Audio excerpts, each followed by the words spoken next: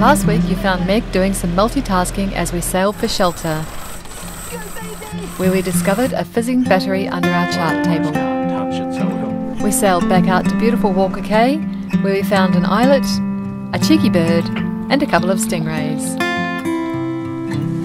Okay, so this week we get down and dirty and we teach you guys how to service your sheet winch.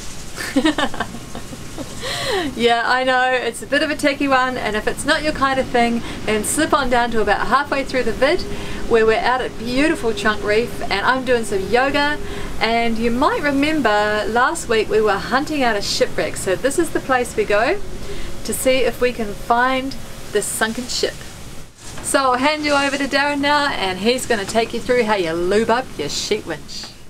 Rightio, we've got a uh, bit of a job on today. We've got we've got to service all the winches, all our primary winches anyway. This isn't particularly one of our primary winches, but um, this is the one that we're going to service for the for the footage, and um, it's an Arco 45 usually what I do is I wait till there's a little bit of a sign of um, stiffness and you can sort of see that this is it's it's quite stiff to turn so it's uh, it's tool time for this little fella so uh, anyway I'll, I'll run you through what what actually happens here to, to service these particular winches they're all the same but a little bit different anyway we'll get we'll get down to it Darren starts by disassembling the top section of the winch.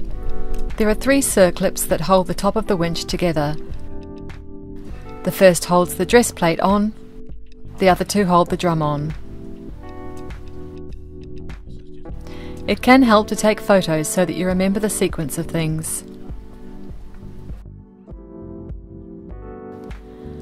Popping the circlips out is easily done with a small pointed tool It's just a tiny little flathead screwdriver. It's great for getting in under the, the lips of these little springs.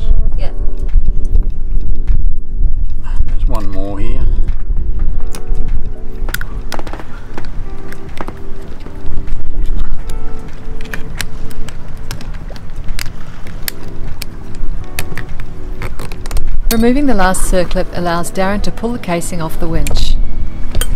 Okay basically that just pops off.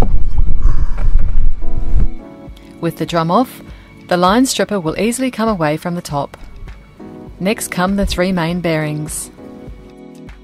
That's old grease which definitely needs a clean up. So these are the um, inner workings of the winch. When you put the handle in there you can you can see there's two speeds. So you can see how dry the gears are and you know it's, it's, it's quite stiff. Anyway we'll pop these gears out for cleaning. Removing the split pin allows the gears to come free. You can see the pawls in there. They actually stop the winch running backwards. Uh, we just need to clean that up and re-lubricate that. Anyway we'll drop all these other ones out.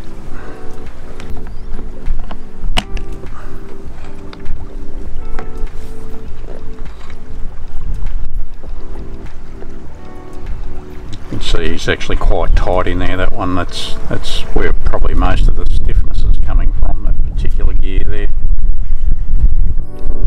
secret to get this this little fellow out of there. There's there's this sneaky little plate down there. And he just slides out. And you can see there's a little groove where he fits into the bottom of this. We just pull him out a little bit. As you pull him up you're turning. and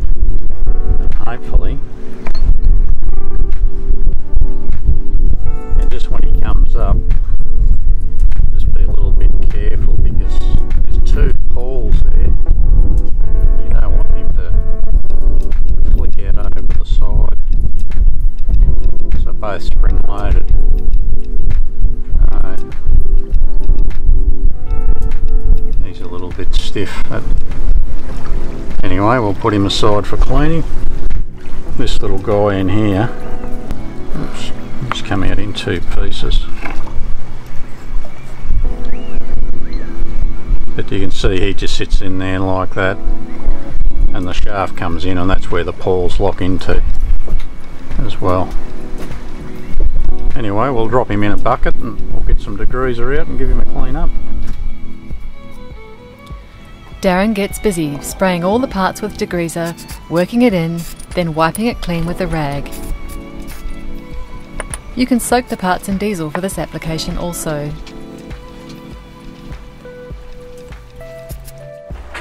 Any sort of old excess grease I'd normally take it off and uh, just give it a tidy up.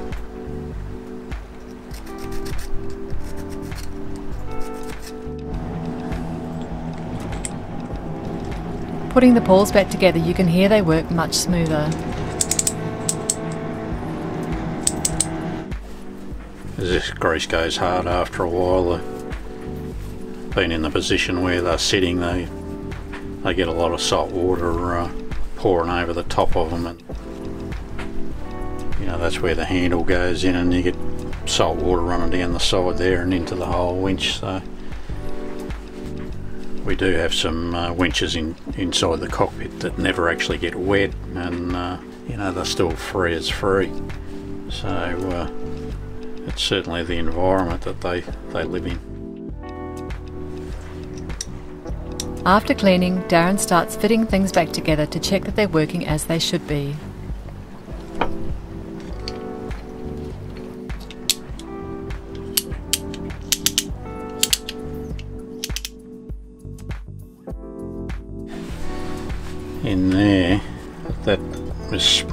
Loaded to, to clamp down on the on the different size lines sometimes you got to pop that out of there and just clean that up a little bit but it's the same again it's just got a, a uh, big circlip in there and it pops off and this still feels quite good so I'm going to leave it this time and yeah, it should be alright. Next Darren cleans up the split pins. So I've just got a little bit of emery and I'll just clean up this little pin here.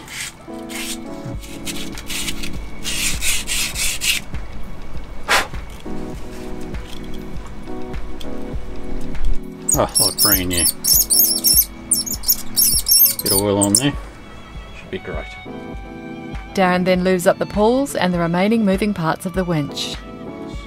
You're just supposed to use a little bit of light machine oil or probably motor oil or light gear oil because if you put grease in there the, the grease goes hard and they stick in and then the winch won't lock up it's um, it can be a bit of an, an annoyance if you like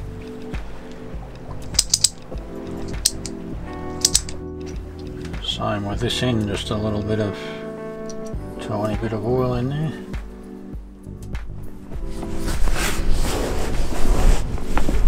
Okay, so we've pre-lubricated everything. There's a smear of grease on everything. This little baby's gonna locate into there, so we've just got to just got to pop him in there.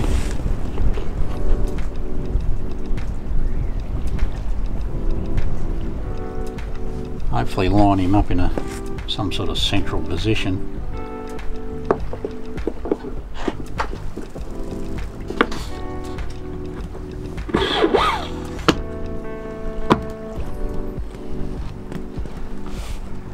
sort of turn him as you poke him back in into that gear and he'll just locate all by himself which he has.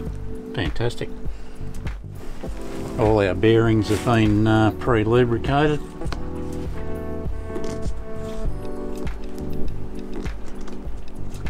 Same again I've only just put a, a, a tiny smear and inside the drum as well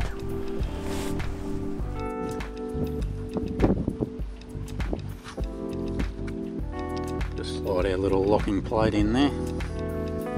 Stops that one coming out.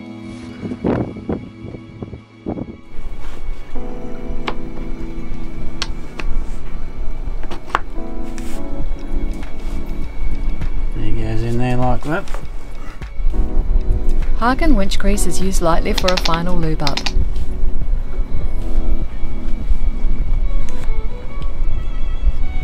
normally at this stage I'd stick a handle in just to see whether um, whether everything's good. And he appears to be good.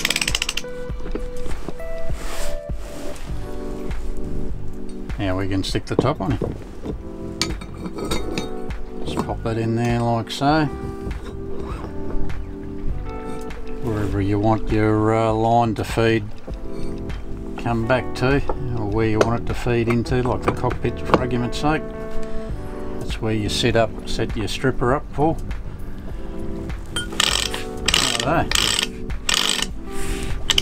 He feels a bit better than what he did before. Darren now starts replacing the circlips. They're made of sprung steel, so they can be a bit of a challenge.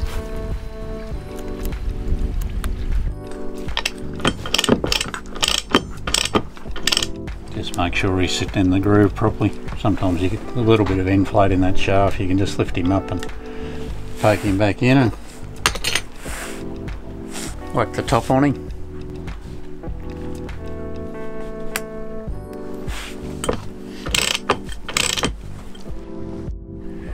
And there you go.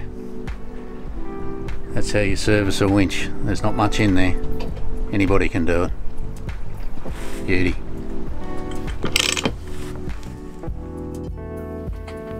Back out at sea, and we're at Trunk Reef where I'm having a good old stretch on a breathtakingly beautiful glassed out morning.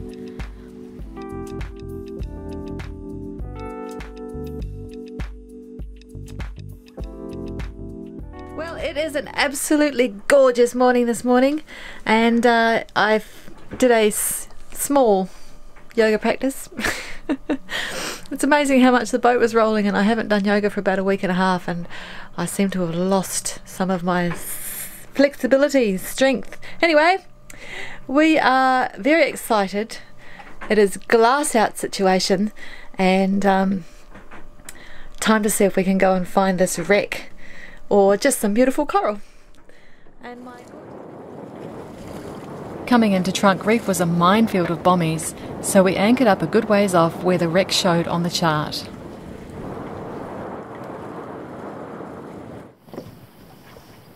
Rightio, saddle up. Okay.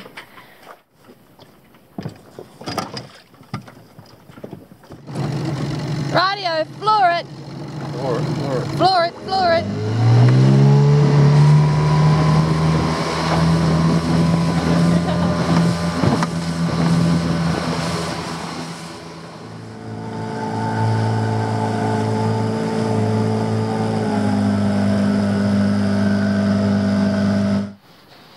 Okay, well that was an interesting little trick. We went all the way down to where the where the wreck was. We couldn't find the wreck, and it was quite murky water. So we decided to come back to um, this spot here. We went across this massive, wide area of sandbank with bommies all over the top of it. So it, the water clarity is amazing up here, isn't it, babe? Oh, it's beautiful.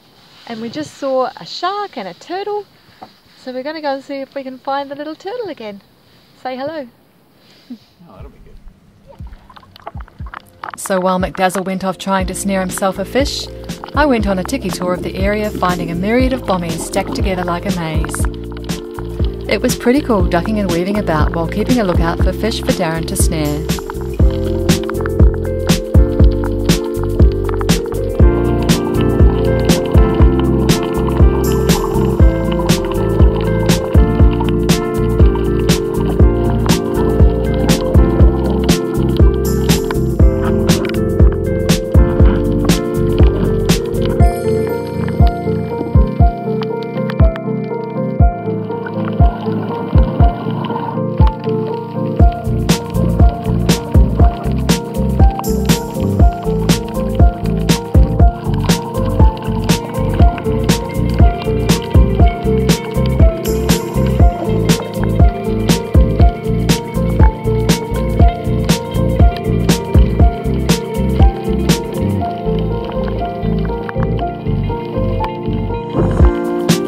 Unfortunately, Darren came back without a feed, but the water was welcoming, and once again, nature was inspirational.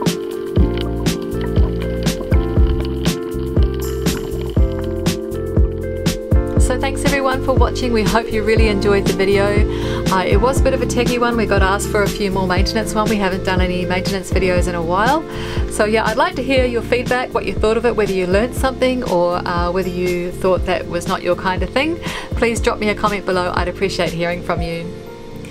So I would like to extend a very warm welcome to our newest patrons, Karen, Andrew, David and Bob. Uh, welcome to uh, our family and uh, we do hope you enjoy what goes on in the back end of Planet Sarean.